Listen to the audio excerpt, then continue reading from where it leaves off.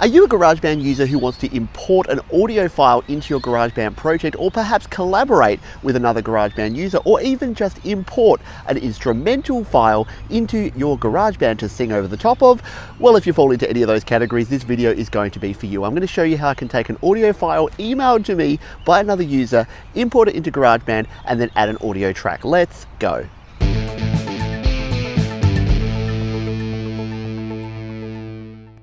Hi, my name is Pete. This is Studio Live today where I help you create, record and release your best music. And as I mentioned in this video, we're going to be doing something pretty cool. We're going to take an M4A compressed audio file sent to me via email from another user. I'm going to bring that over into GarageBand and then I'm going to record some vocals and then send it on back for him to mix it back in to the original GarageBand project. So let's dive in and take a look now. So here I am in my Gmail app, but you can do this from the regular mail app or pretty much anywhere else that's going to allow you to view an attachment. And as you can see, I have an attachment here, which is an audio file of Can't Help Falling in Love, which is an instrumental that I'm going to add a vocal track to. Now this was sent to me by my friend Mark Bether, who is an amazing bass player and musician out of Poland.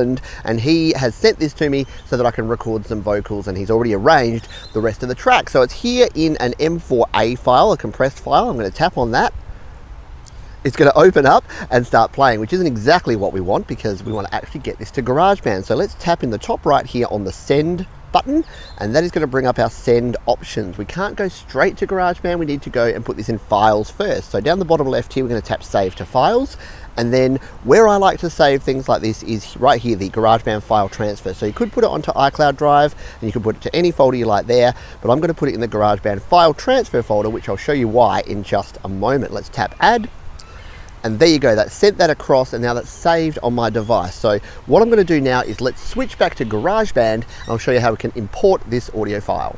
Okay, so here we are in GarageBand. We're going to tap on Create Document to create a new song. Now we'll just tap the audio recorder just to open up a track here. We don't really need anything here, but let's go to the track view and here we are in our track view. Now the first thing I'm going to need to do is set my BPM. You might have noticed in the file there that Mark had very helpfully put that this is 137 BPM. So I'm going to tap on my settings option here. I'm going to tap the tempo and we're going to raise this one up to 137 BPM. There we go. The other thing we need to make sure is that we have our uh, length on automatic. So we'll just tap our plus button there we go, eight bars automatic. So that means it's going to be able to put the whole track into our project here. Now you'll notice that our little loop icon in the top right here has a little one next to it. Now, I told you that there was a reason why I put it into the GarageBand file transfer folder, and that is because this audio files tab at the top here is directly linked to that GarageBand file transfer folder. Otherwise, we would need to go to the browse items from the files app and import it in, which is no problem, but it's just one additional step. So what we're going to do now is tap and hold and now we're going to drag this over. I'm going to drag it onto a second track because this is going to make sure that our audio track doesn't have any processing on it because this one here would have had one of our default vocal processing, but we want this to be on a clean track. And now, if everything's been done correctly, let's hit play and listen to the intro of this song.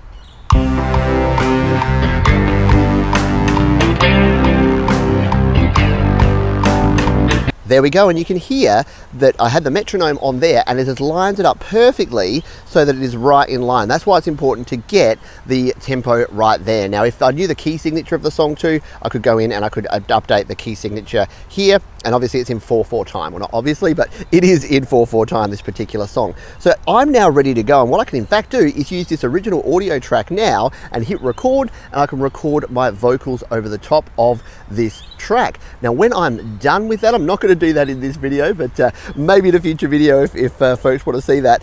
You've seen me record audio before and I'll link to videos where I record of audio and do that here. But let's just assume that I have now finished with this and I'm going to tap and go back to my songs.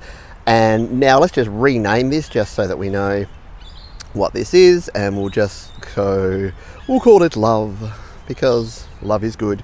And now we can just do our sharing options here. So we can tap it and then we can send this back using the same way. So tapping on our share and we can share either the song or the project. And I've got a heap of videos about sharing. So I won't do that in this video here, but I'll link to those above and below as well. So you'll notice that this was just a, a, compressed file and I'm just going to record the audio and send it back. And I'm going to, the other thing, sorry, that I'll probably show you is that when I send it back, I'll mute the original audio and I'll just share this as my vocal track. That way, Mark can actually pull my vocals back into the original track and do the mixing there. There's other ways to share an entire project in GarageBand, which I've shown in other videos. And once again, I will link to how to do that if you actually want to collaborate on the project. But in this case, I'm just adding vocals to an arrangement that someone else has already done. I can just record my vocals, send just the vocals back, and then he can use this exact same process to import those back into his track. The other thing I'll mention here is you'll notice that he sent me the track as an M4A file,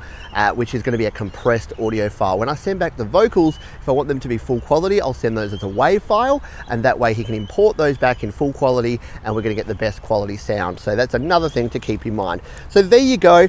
You can see here that this has a lot of powerful options. If you've got an instrumental track that you've got in your files app or that someone sends you, you can bring that in here. If you want to do some karaoke tracks here in GarageBand, you can do that the sky is the limit, but I think that this is a pretty cool way to get a file into GarageBand. If you've got comments, questions, or suggestions, you can leave those down below and I'll see you on the next video. Once again, a big thanks to Mark Bether for helping me out on this video, and also thanks to Dan Fleming, who provided some of the original instrumentation on this song. If you'd like to check out both of these folks' music, I will have some links in the description below. Thanks again for watching.